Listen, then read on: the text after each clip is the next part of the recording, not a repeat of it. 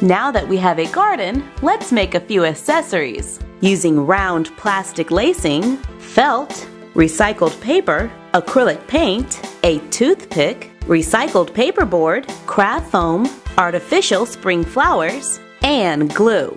I start by taking round plastic lacing. Cut a desired length, cut thin strips of paper, cut a thinner strip, roll the wide strip around the end of the plastic, using glue to secure the paper in place. Trim off the excess, glue and wrap the thinner piece, carefully paint the paper with a metallic gold paint to make a water hose.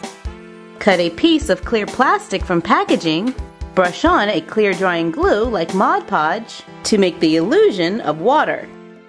Take a toothpick, cut a strip of recycled paper, wrap the paper around the toothpick, use glue to secure it, trim off the excess, trim the toothpick, use a nail file to sand the rough edges, cut a rectangle of paperboard, fold it in half, cut the top at a curved angle, trim the bottom, glue the end of the toothpick into the paperboard, paint it, wrap colored paper around the handle to make a hand spade. Cut a rectangle of craft foam, round off the corners, use a hole punch to make a handle to make a garden kneeling pad.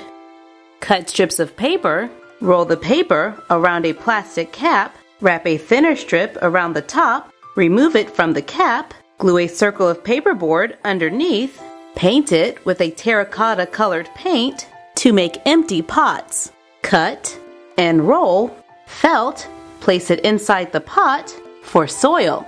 I can push artificial flowers between the layers of the felt to look like something is growing. Add everything to the work table from our secret garden video, and you're done. Happy crafting!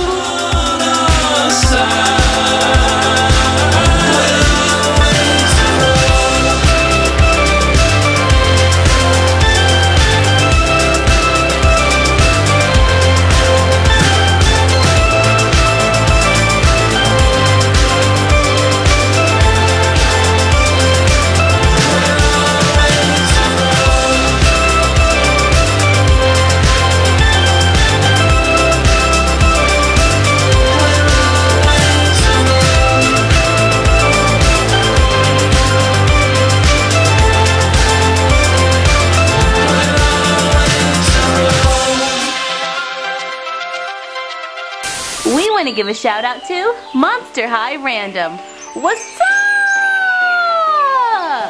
Aww! Remember when we used to play in the water when Mom was gardening? Yay! Sophie, I'm gonna get you! this is fun! Sisters forever! I'll turn on the water. What? No, Sophie. Sorry. Kinda got carried away with the moment. uh, sisters? Forever?